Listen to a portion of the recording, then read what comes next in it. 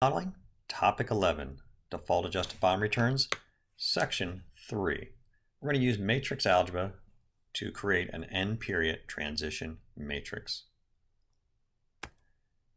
So we're going to start off with our one-year transition matrix. I'm going to add a row and column to that transition matrix to get some interesting uh, analytics. So let's go to our spreadsheet. I'm going to go to the next worksheet. I have our base transition matrix here.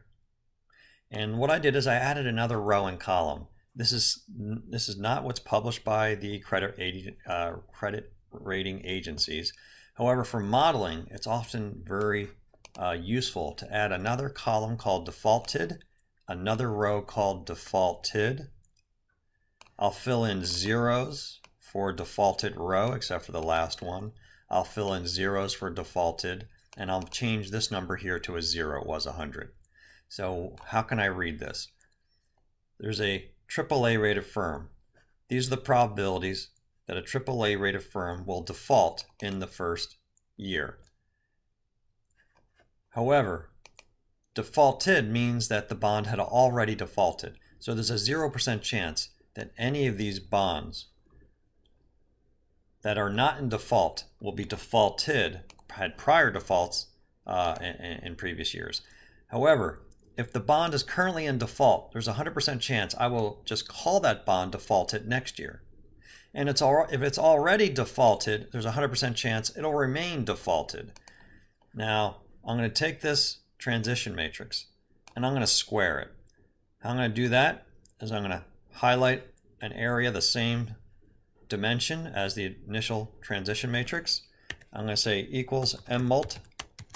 I'm going to put in the transition matrix, comma, let's put it in again, and control shift enter to enter that across an array. And here's some interesting data. I now have a two-year transition matrix. So there's an 85% chance that a trip, AA rated or AAA rated firm will be AAA rated two years later. Now here's a double A. I now, if I look at a one-year probability, there's no probability based on this prior year's data. There's zero probability that a double A rated firm will default within one year. However, there's a 0.06% chance that a double A rated firm will default at the end of two years. If I look at my B rated bond, here's some interesting statistics. Notice there's 3.9% chance of B rated bond defaulting in one year. If I look at this B row, there's a 3.9% chance, same, that that B rated bond will be called defaulted in two years. In other words, this is the prior default probability. The 3.88%, we saw that before. That was in our last sheet. That 3.88% is the probability of the bond defaults in the second year. That 3.88 shows up right here. There's a B-rated bond. The probability that defaults in year two is 3.88. The probability it defaults, it already defaulted is 3.99. So by taking a matrix and multiplying it to an n by the n power, you wind up creating an n-year transition matrix. Now I'm going to show you a function. This function from the Benninga textbook takes any matrix called matrix and multiplies it n times. So let's insert that function. I already have it in our spreadsheet. So if we go to our module, you'll see I have option base 1 and matrix power is inserted in the function with YTM function and bond val function, which we'll use later. But now I can insert that function by selecting this whole area. I'm going to insert a function, user defined, and find matrix power. Matrix is the original matrix not the squared one. And n is the number of of number of periods. Hit, hit number two, and then I'm gonna hit Control Shift Enter. Well, let me try that again. While that's all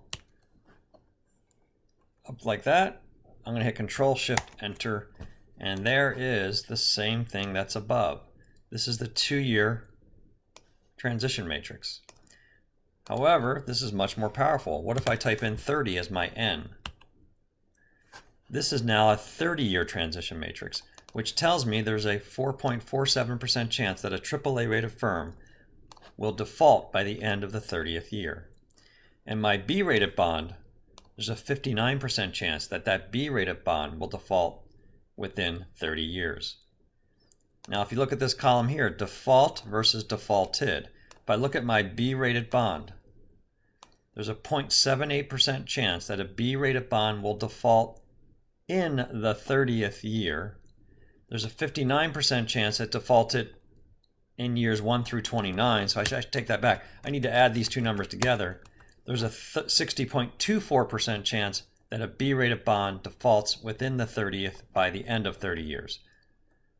So this becomes very important because what we, like I said earlier, to calculate the, prob the uh, default adjusted cash flows for say a 30-year bond, I need to know the probability of defaults in every year. And this little tool, this matrix power, is going to help me do that. So in this topic, we used matrix algebra to create an n-period transition matrix using matrix power. The next topic, we'll ca calculate an n-period model to compute default adjusted bond returns